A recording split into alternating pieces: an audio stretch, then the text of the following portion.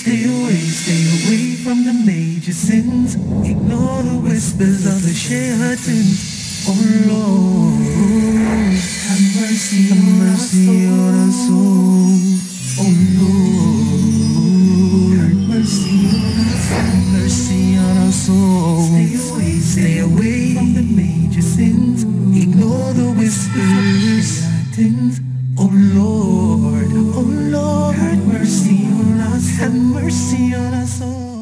Assalamu alaikum wa rahmatullahi wa barakatuh. Brothers and sisters, welcome to a brand new episode of 26 Ways to Be a Good Muslim Parent.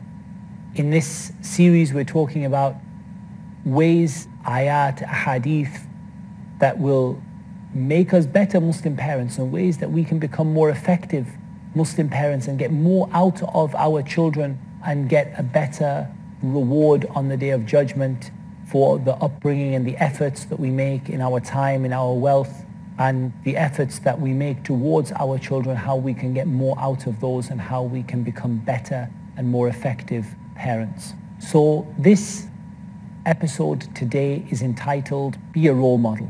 And that's because you are the single most important role model for your child. Of course, your children should have the role model of the Prophet sallallahu. The children should have the role model of the Sahaba radiallahu of the great Imams of Islam, of the great scholars of the past and the great scholars of today. But at the same time, the role model that they should see reflecting the method of the Prophet ﷺ, the role model of the Prophet ﷺ, they should see that reflected within the role model that they have the most access to and the role model that is the closest to them and that is the role model of their parents. And we find this mentioned in many places in the Quran. For example, Allah subhanahu wa ta'ala said in Surah At-Tahrim, يا أيها الذين آمنوا قوا أنفسكم وأهليكم نارا O you who believe, save yourselves and your families from a fire. وقودها الناس والحجارة its fuel is men and stones.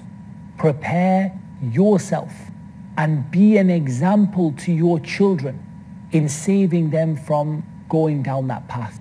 And so this ayah indicates the importance of being an example for your children. Who anfusakum wa ahlikum nara.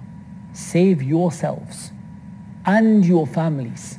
Be an example that you yourself are saved and your families are saved by the decisions that you make, by the example that you give to them for the sake of Allah Azza wa Jal in order to keep them away from that which will lead them to the hellfire. And as an example, the Prophet ﷺ was commanded in Surah Taha, in ayah number 132, وَأْمُرْ أَهْلَكَ بِالصَّلَاةِ وَاصْطَبِرْ عَلَيْهَا Command your family to pray. And you yourself remain patient in doing so. Either remain patient in praying or remain patient in commanding your family to pray, or both. And perhaps that is the most obvious of the meanings, both. You yourself need to pray and you yourself need to be patient in praying and you yourself need to tell your family to do so and be patient in telling your family to do so. And Allah Azza wa Jal mentioned in the Quran, O you who believe, why is it that you say that which you do not do? Grave is it in the sight of Allah that you say that which you do not do. So Allah subhanahu wa ta'ala, when we put all of these ayat together, we see that when Allah Azza wa Jal is commanding us to tell our families to pray, and when Allah Azza wa Jal says in Surah Maryam, وَاذْكُرْ فِي الْكِتَابِ إِسْمَاعِيلَ إِنَّهُ كَانَ صَادِقَ الْوَعْدِ وَكَانَ رَسُولًا نَبِيًّا وكان يأمر أهله بالصلاة والزكاة وكان عند ربه مرضيا And remember in the book when Ismail was a messenger and a prophet and he used to command his family to pray and give the zakah and he was in the sight of his Lord beloved, mardiya. he was loved and his Lord was pleased with him. And he used to tell his family to pray. And of course, the way that Allah Azza would be pleased with him and the only way this can go through is if he himself was a role model for his children in doing so. Because Allah Azza said, O you who believe, do not say that which you do not do. What a grave thing it is in the sight of Allah that you say that which you do not do.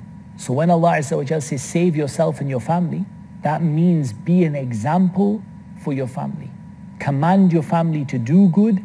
You yourself do good. Ku anfusakum, save yourselves.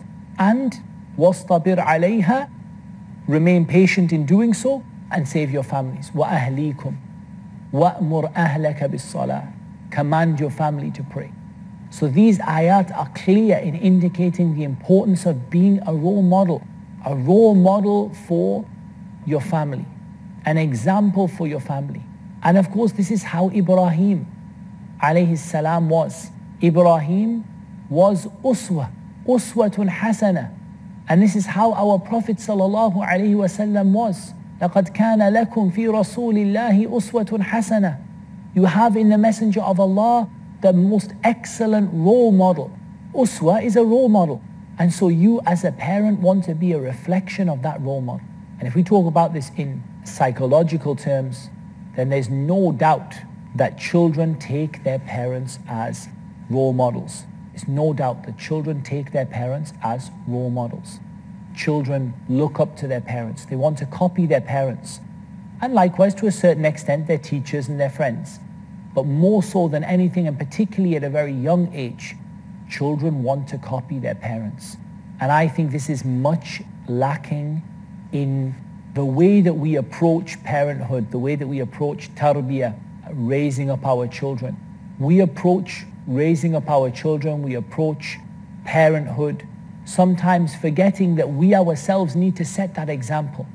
It's not enough for us to command our children to do good. And of course, we all know the importance of commanding our children to do good. وَأْمُرْ أَهْلَكَ بِالصَّلَاةِ Command your children to pray.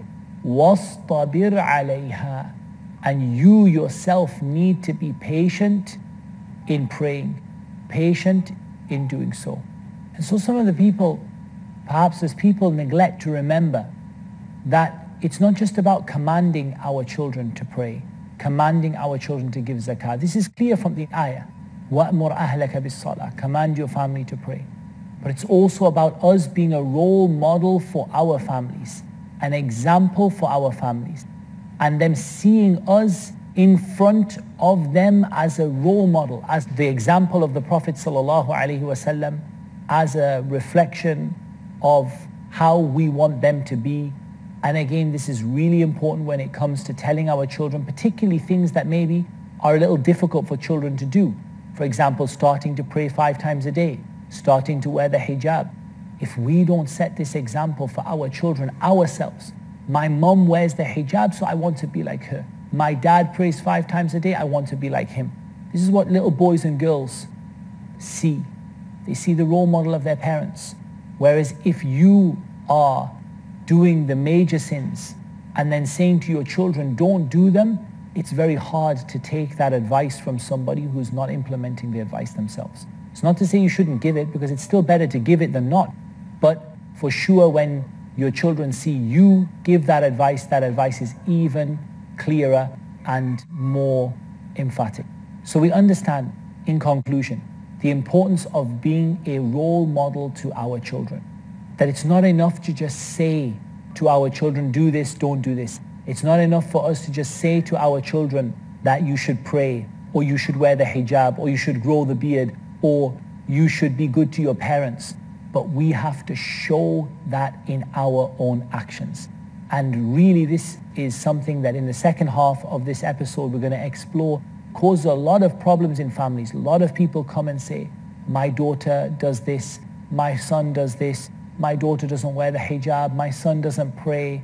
And we ask them usually, first of all, do you do the same thing you're asking your children to do?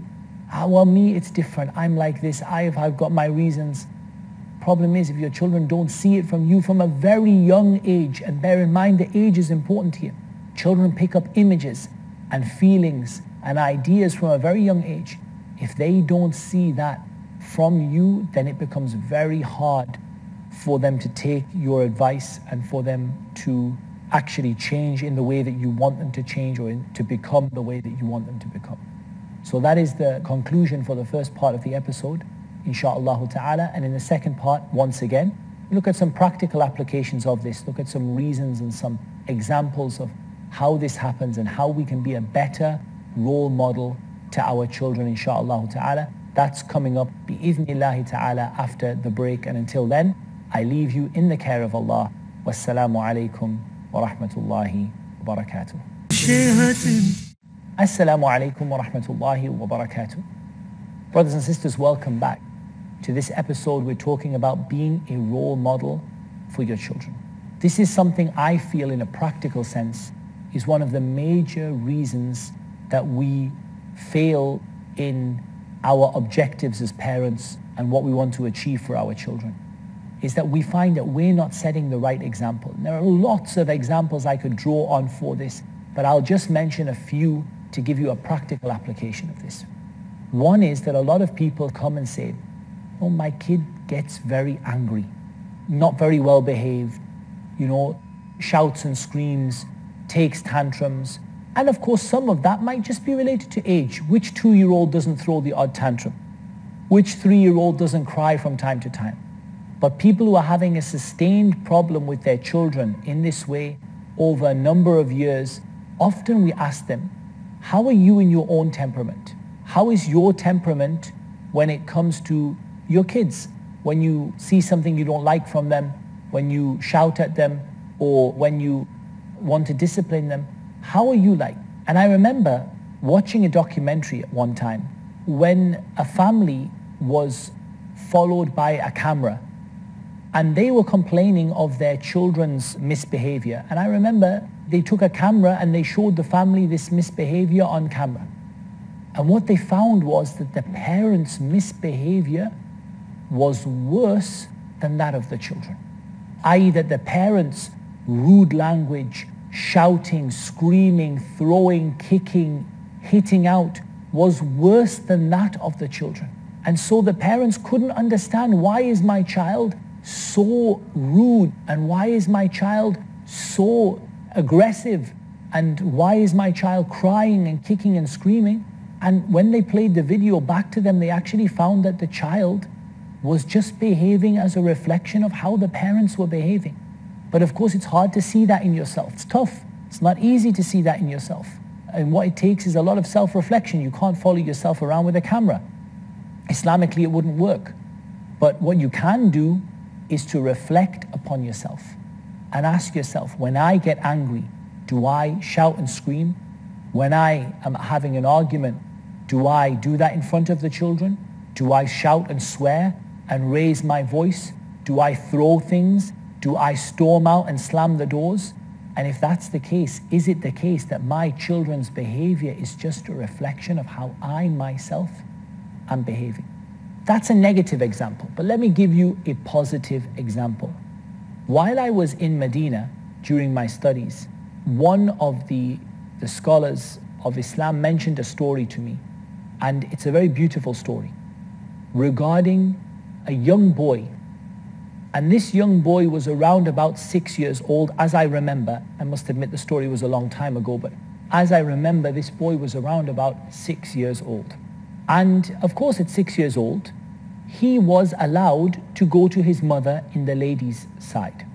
So when he came to his mother in the ladies' side, the ladies were uncovered, as you would expect among ladies in a closed room, in a, a separate part of the house. The ladies were sitting together chatting and the ladies were without their hijab. They were you know, in a sort of covered without being fully wearing their hijab. And when the six-year-old boy came in, he turned his head and he put his eyes on the ground and he turned his head to the side. Six-year-old boy. He put his eyes on the ground and he turned his head to the side. And he diverted his gaze from looking at the women. And as far as I recall, he asked those ladies to put on their hijab at six years old. Now let me ask you the question. Why did this six-year-old do that? Do you think that six-year-old was aware of the awrah of a woman? properly aware? Do you think that six-year-old had any desire for those women? This is impossible. The reason that six-year-old behaved in that way is because he was copying his dad. Nothing more than that. He saw his dad behave like that and he wanted to be like his dad. Role play. I'm just copying my dad.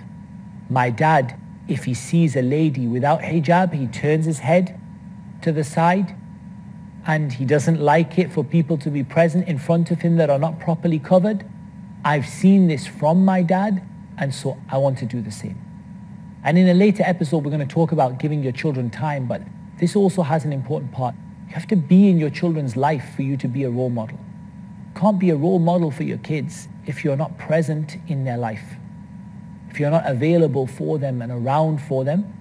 Obviously, this young boy had been with his father, sat with his father, seen how his father behaved, and so this little boy wanted just to copy his dad. Without really realizing that he probably embarrassed the ladies in that room, he probably made them feel a little bit uncomfortable, maybe some of them laughed. He wouldn't have known why. He's just a little boy. But what he did do is to copy the example of his parents.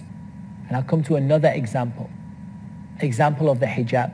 You have a little girl and her mum wears full niqab full hijab, proper hijab as she should, head to toe, full niqab, gloves, abaya, the whole thing. When this little girl wants to dress up, how do you think she dresses up?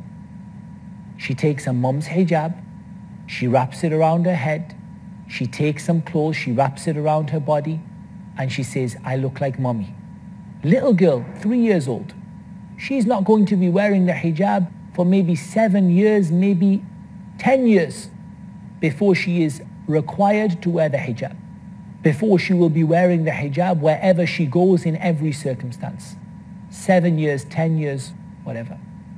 At three years old, she puts on the hijab as a role play, because little girls like dressing up, because I look like mommy.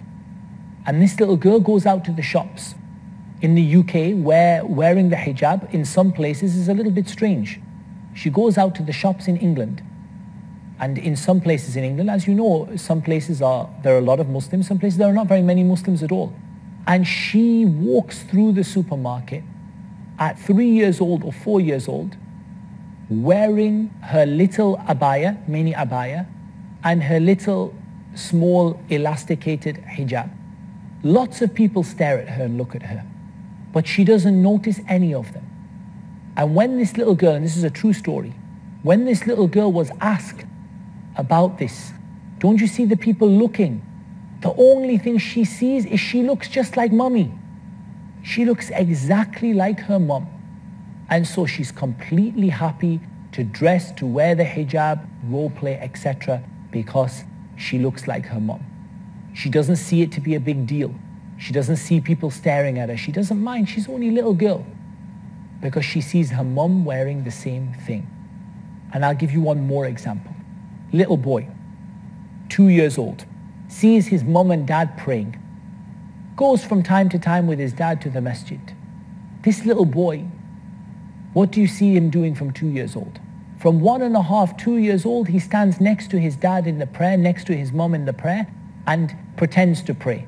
Of course, he makes sajda at the wrong time. He runs around, he sits down, he gets up after one rak'ah, but he loves the prayer. Why does he love the prayer?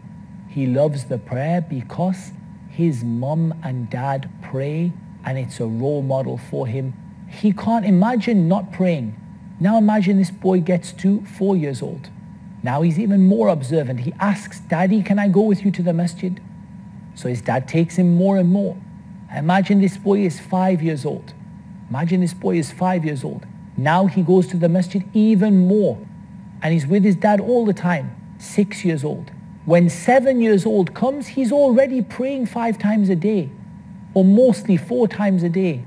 And so telling him to pray five times a day is a very small step, and it's not a burden.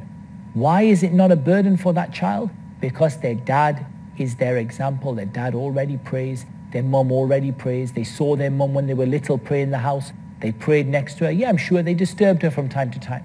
But they prayed with her and they learned from her. Then when they went with their dad to the masjid, they saw how their father was. They learned from their father. And then by the time they get to seven years old, telling them to pray five times a day. It's like telling them to go to the supermarket and buy a candy, buy a sweet. Easy as anything. They love it because they're already praying, they're already seeing their parents, and they just are seeing themselves copying.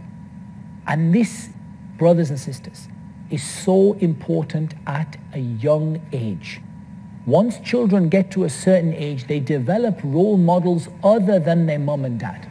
And that's fine because we're going to talk about putting positive role models in there. The Prophet ﷺ, the companions, the wives of the Prophet radiallahu wa alayhi salam, and so on and so forth. But at the very young age, children only have two role models, mom and dad. As they get a little bit older, they have maybe mom, dad, and teacher at school. As they get a little bit older, mom, dad, and a friend and a teacher at school. As they get a little bit older, then it becomes football players, soccer players, cricket players, etc. Like there's a lot, it becomes a lot broader, and this is where problems can creep in. But at least when the child is very young, give them that positive example. But it's never too late. Even if your child has bad role models now, Start taking those role models and replacing them with role models from yourself first of all, and then linking your actions to those of the Prophet ﷺ and the companions. Mommy, why do you wear hijab? Because the wives of the Prophet ﷺ used to wear the hijab and Allah told us to do it in the Quran. Daddy, why do you pray? Because the Prophet ﷺ used to pray and because Allah told us to pray in the Quran. And so they're getting their good role models through you and you are showing them like a mirror to those role models they are reading about at school, they're learning about with their friends, they're learning about on beneficial Islamic videos and lectures. They're learning positive role models and those positive role models are being reflected in the role model of their parents. And so yes, maybe a 15-year-old child doesn't really want to be much like dad. 15-year-old girl maybe doesn't want to be so much like mom you know, this is how things change. People's attitude changes as they grow up. But if you've given them a positive role model until then, they'll still want to keep that role model even when they're a teenager, even when things get tough. If you haven't, then don't lose the opportunity. Don't stop. Go grasp the opportunity. Take it with both hands and start being that positive role model. Even if it means you have to say to your kids, I did it wrong And inshallah, this will come in future episode. We'll talk about how to explain to your children maybe confess to your children that you haven't always been practicing as you should have been and that this is a change you're making now. But it's never too late to be a good role model for your children, inshaAllah ta'ala. We ask Allah subhanahu wa ta'ala to make us an imam for the muttaqeen. وَجَعَلْنَا لِلْمُتَّقِينَ imama To make us an example for the pious, for our children and for others as well. And that's all we have time for in this episode. Until next time, Assalamu alaikum wa rahmatullahi wa barakatuh.